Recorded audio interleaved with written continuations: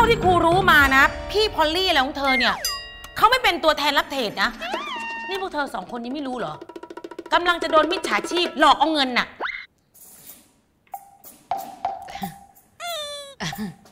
นายเจแปน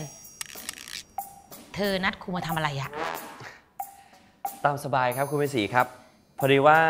มัน anyway นะครับ พอดีว่าผม miss you นะครับ คุณเป็นสี คิดถึงครู คิดถึงมากเลยครับ ตั้งแต่เรียนจบไปผมก็ไม่มีโอกาสได้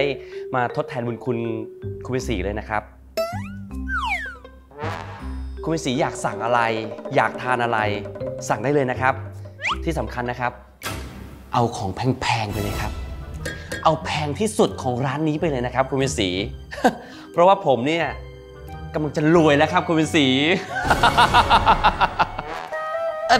เดี๋ยวนะนายเจแปนครับ ครูดีใจที่เธอจะรวย แต่ว่าเธอไปทำอะไรมาถึงรวยอะ่ะจำไม่ได้เหรอตอนประถมอะ่ะ ที่เธออดมื้อกินมื้อ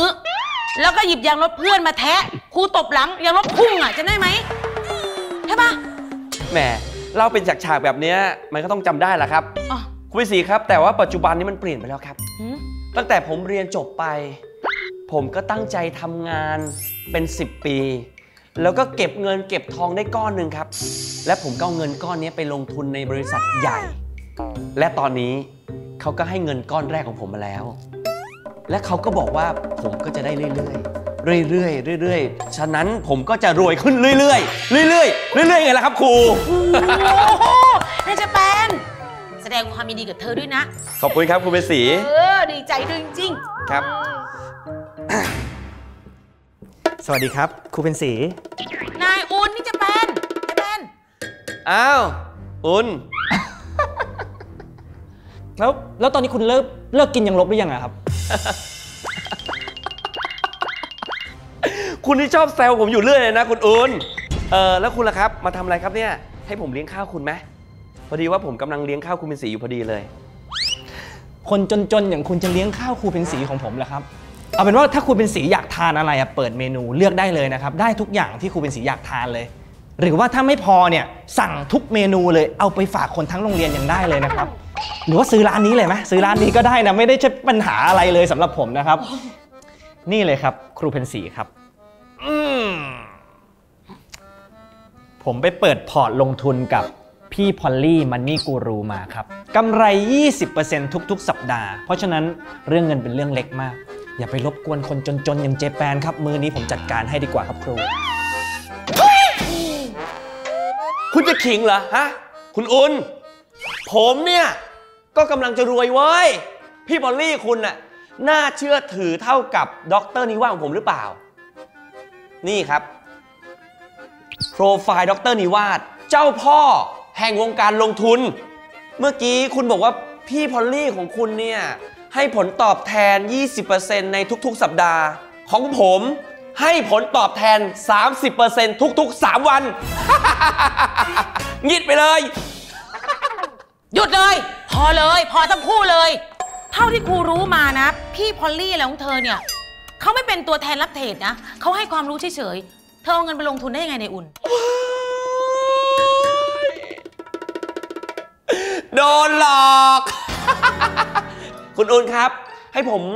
สั่งปลาให้ทานไหมครับ คุณจะได้ฉลาดขึ้นนะครับ นายเจแปน เบาได้เบาเลย ขอโทษครับครู เธอก็เหมือนกันไปเปิดพอร์ตกับดรนิวาสระดับดรนิวาสเขาไม่เป็นตัวแทนรับเทรดแน่นอน เธอก็โดนหลอกถ้าผมกินปลานะครับ สงสัยคุณต้องกินเรือประมงมั้งครับคุณเจแปนครับ ให้สั่งให้เลยไหมครับ คุณเจแปนคนจน คุณพิศรีครับ แต่ของผมน่าเชื่อถือกว่าครับ นี่ครับ เมื่อวานผมเพิ่งคุยกับเลขาดรนิวาสนะครับ ผมน่าเชื่อถือกว่าครับ ผมเพิ่งคุยกับเลขาของพี่พอลลี่มาครับเมื่อวาน ของผมน่าเชื่อถือกว่าครับ